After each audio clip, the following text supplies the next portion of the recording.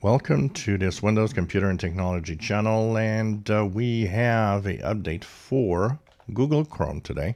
New version of Google Chrome that has arrived, Chrome 101. It seems not that long ago that Chrome 100 was actually the uh, main uh, driver of the new versions.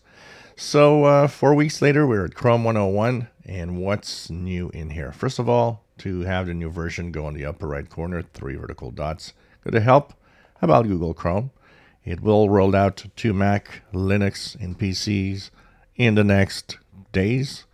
And of course, it contains security updates. We'll talk about that in a separate video. Here, we're going to talk about so what's new, what is in here. So, um, some improvements in the UI. So, for example, in the downloads, when you look at the downloads, UI. Um, there's some stuff here that um, will actually improve the visuals are improved. The bubble when you're downloading something also the way that it shows you the progression. They're tweaking that user interface slowly to make it kind of better. Uh, and the passwords, you can now actually set a comment next to whatever website password that you saved in the browser. That is also something new. Um, what's mostly major is Under the Hood, and it's the first installment of Google trying to show that it is privacy conscious. Let's say it like that. So, what happens with version 101 is that the way that websites negotiate ads that show up in the web pages you watch is going to prevent cross site snooping. What that means is before 101, if a website had ads, it could technically kind of make a profile of you by other things happening in the browser and cookies and so on, and kind of say, well, oh, okay, so this guy mainly does this type of browsing, for example, or likes this type of, um, you know, content.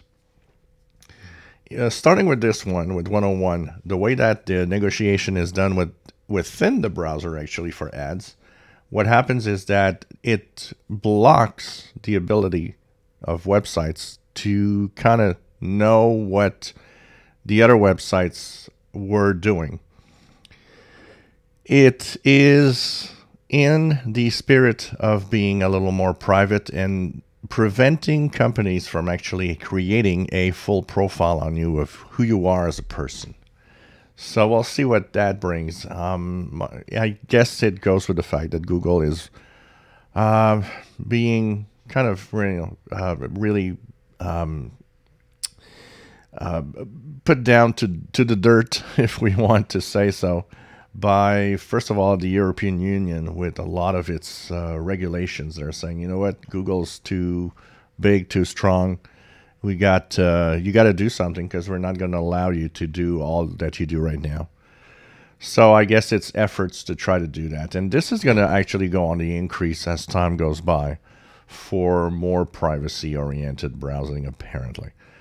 Um, in real life, how is the impact of that? That's very difficult to measure because it's kind of difficult to really assess each measure of these companies of what exactly the impact is and how it changes.